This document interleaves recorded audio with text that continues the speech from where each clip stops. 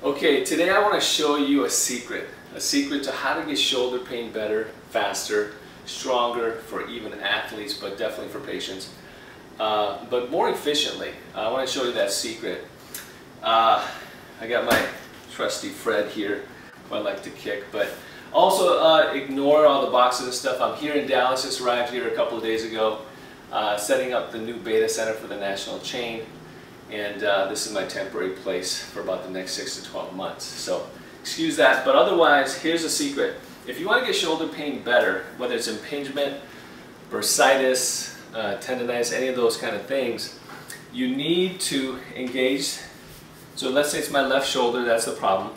You need to engage the obliques, also engage the inferior trapezius muscles, uh, but you also need to uh, engage the gluteus medius and also the adductor on this side, the adductor complex. This is actually more important, uh, and this is something I'm not seeing in a lot of physical therapy clinics, is the importance of the adductor complexes. It's actually a synergistic muscle with a lot of different parts of the body, um, but we don't really work that much in therapy. So this is really, really good. Now, you could do you know, several different exercises to work those parts that I mentioned, but I'm going to show you how to do it in one movement and actually creates a muscle synergy so you get much more better effect, quicker, uh, better outcomes than if you were to do you know, six, seven different exercises.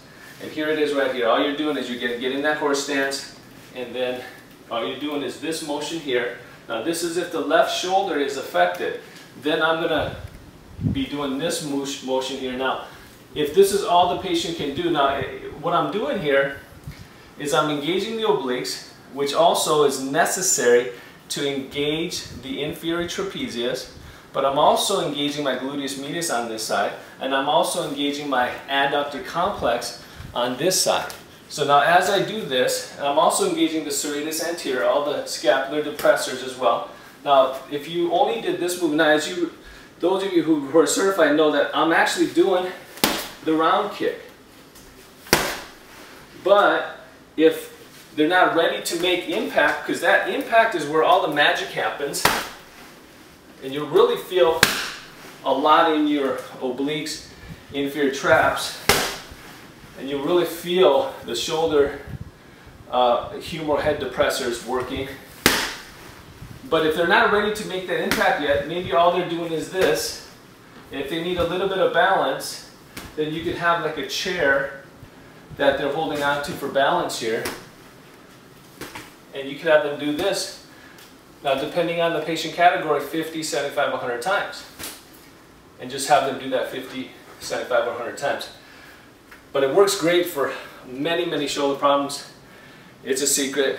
Not many are doing it. Patients love it, especially when they start making impact.